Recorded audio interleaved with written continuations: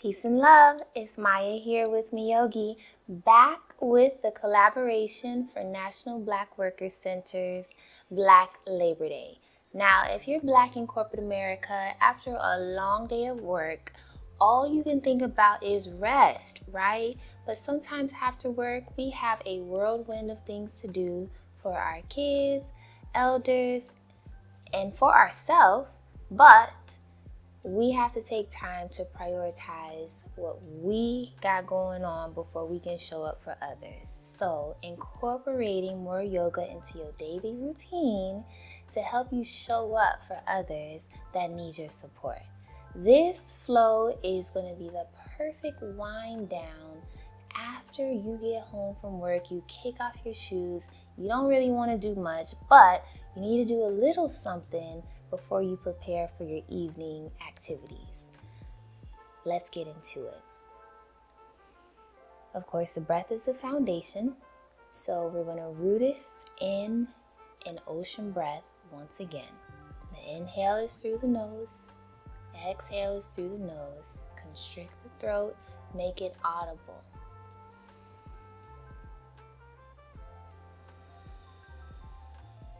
Close your eyes if you will drop into your practice, setting that intention to rejuvenate.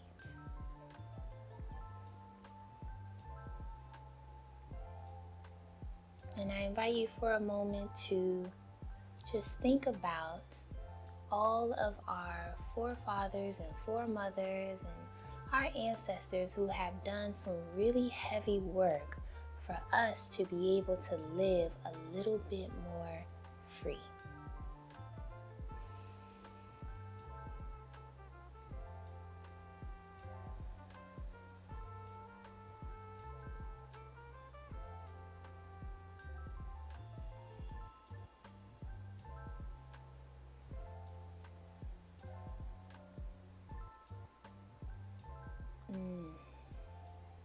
Give thanks. We give thanks for our ancestors.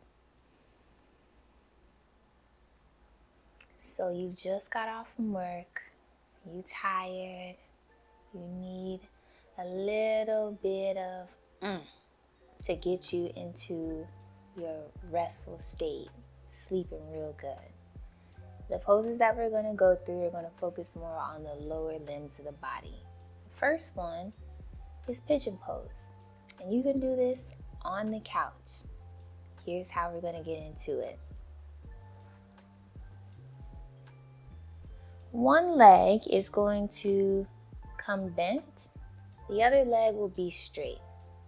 And you'll give yourself enough room so that the leg can relax completely on the couch. Like so. Now, let's say you're up here, but you need a little support. You can take a pillow.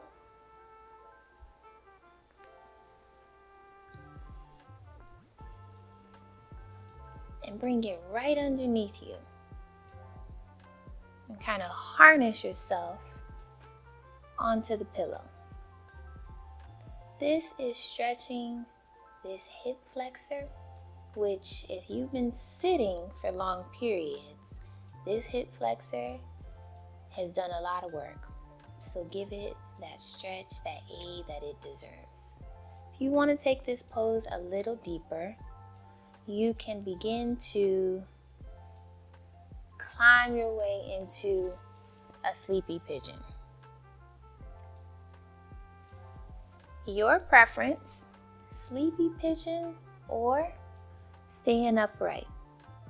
Ocean breath to aid us in our practice, inhaling through the nose, out of the nose, through the nose, out of the nose. In through the nose. The nose. Awesome. Now remember what we do to one side, we always do to the other.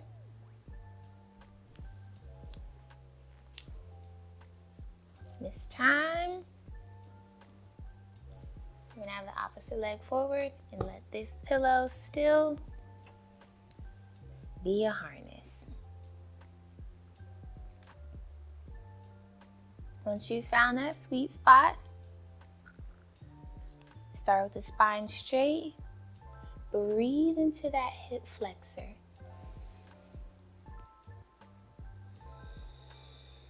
Breathe into that discomfort.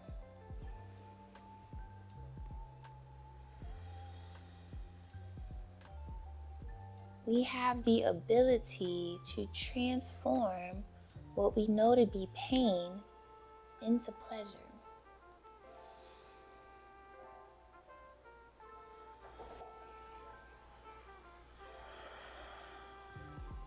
Mm-hmm. So, pigeon pose with a prop.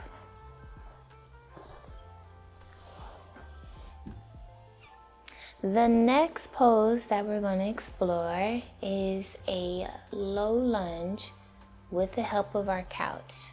So we'll have one leg off the couch and we want to have that knee about 90 degrees.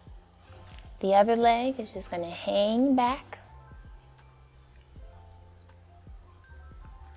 So you're to take some time to nuzzle your way down. Use the pillow as a way to support you. And maybe it's not just one pillow, maybe it's two. Make the pose accessible for you. Bring in the blankets, bring in the books, whatever you need to make it feel good. Mm -hmm. And once you've settled into it, Find your ujjayi, your ocean breath. Mm.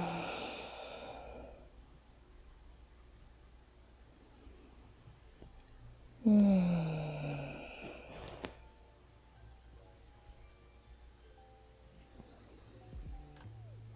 Mm.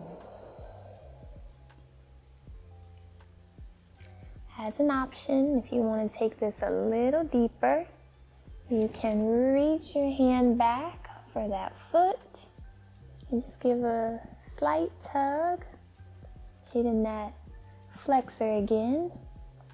Mm-hmm.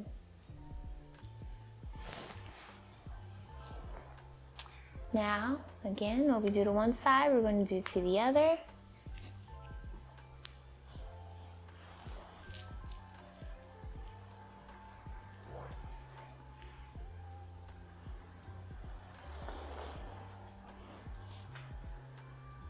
I'm really thinking about alignment here.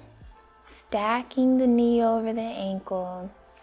Letting that back leg be as straight as possible. Melting into the pose.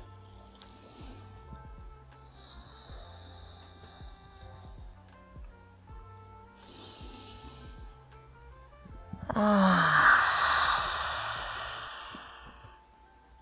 Yes, letting out those deep sighs out the mouth can be really yummy.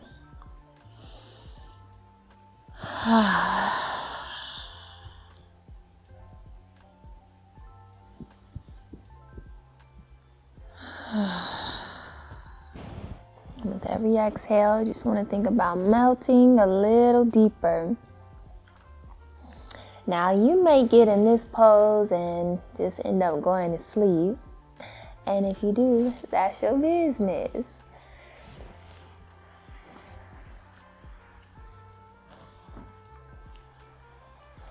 So once we've evened out on both sides, doing our pigeon pose and we got into our low lunge, we're going to do one more pose that will help with the spine.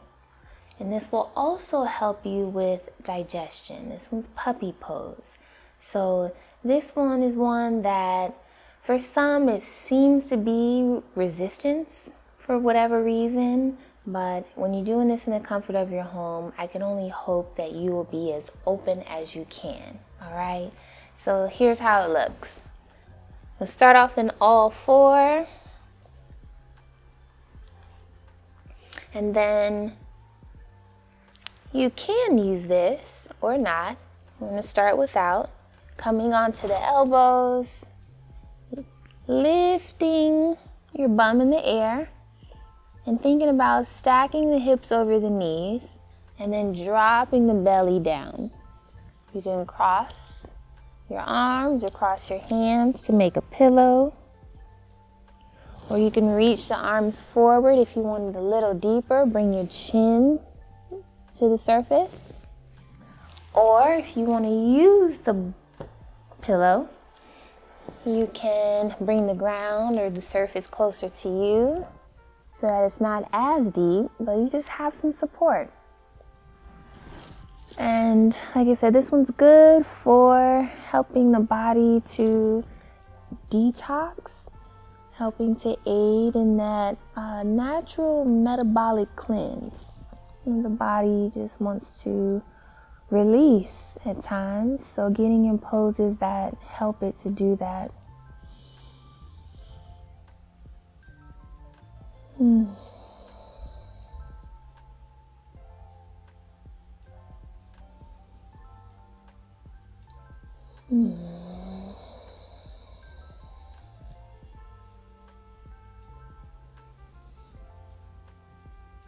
Ah, I finished a few of those breaths, coming out of it and resetting.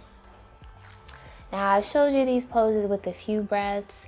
In order to really maximize the benefits of them, you want to be practicing them for long periods. The longer the better. Pay attention to your body and be more, you know, mindful of what your capacity is. I challenge you to do at least 15 minutes a day, whether in the morning, during a break, in the middle of the day, or at night, just to aid you in your self preservation journey. All right. Thanks again for tuning in. This is Maya with Meeyogi with a National Black Workers Center collaboration for Black Labor Day. It's lit, y'all. Peace and love. Rest well.